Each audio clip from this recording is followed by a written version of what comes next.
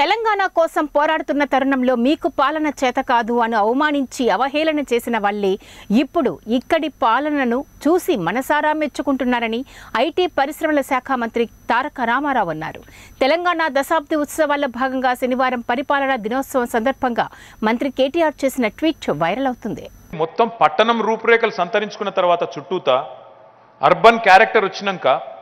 చుట్టూ మొత్తం అర్బనైజేషన్ అయిపోయినాక ఇంకా దాన్ని గ్రామ పంచాయతీ ఎట్లుంచుతారా మీరు నాకు అర్థం కాదు అసలు ఏమైనా అవగాహన ఉందా నడిపిన వాళ్ళకి ఇదివరకు ప్రభుత్వాన్ని అని చెప్పి ముఖ్యమంత్రి గారు మమ్మల్ని అందరినీ పిలిచి గట్టిగా మందలించి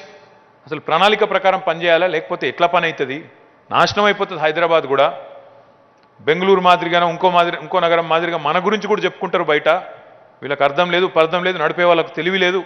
పరిపాలనా చాతుర్యం లేదు